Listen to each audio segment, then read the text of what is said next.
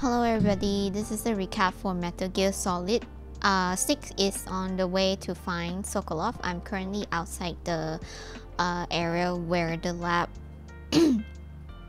is. So um, I'm exploring the lab and uh, at one point I met Granin.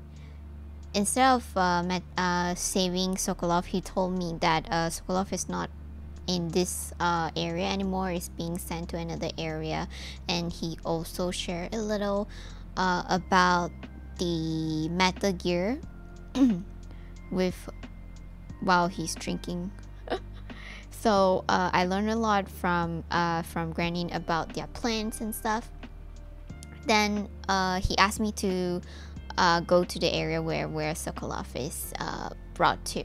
So he gave me a key so after talking to him, I need to rent out, I, I need to go all the way back to the storage area and I met, well on the way I met the fear. The fear shoots like a poison's arrow. Whenever I got shot, I will be uh, poisoned and I will need to like uh, cure myself and stuff.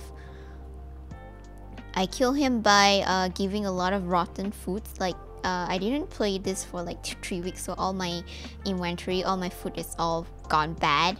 So uh, I use that as an advantage to uh, because when his stamina is low he will like uh, grab food on the floor. So he got all this food and eventually die I got his uh, camos uh, his camels too which is very cool.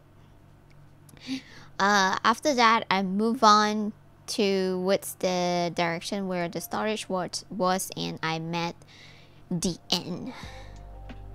This the the part is kind of scary because like he he was like an old man and suddenly his eyes is like enlarged and open up kind of scary and he's like a great great great great shooter I didn't get to defeat him I uh I couldn't figure out the way to defeat him and to find him and I don't have a gun where I can shoot long distance.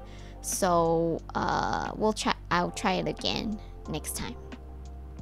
That's all for the Metal Gear Solid 3 recap. If you're interested to watch the stream the URL is in the description box. Thank you so much for checking out the recap and I'll see you very soon. Bye bye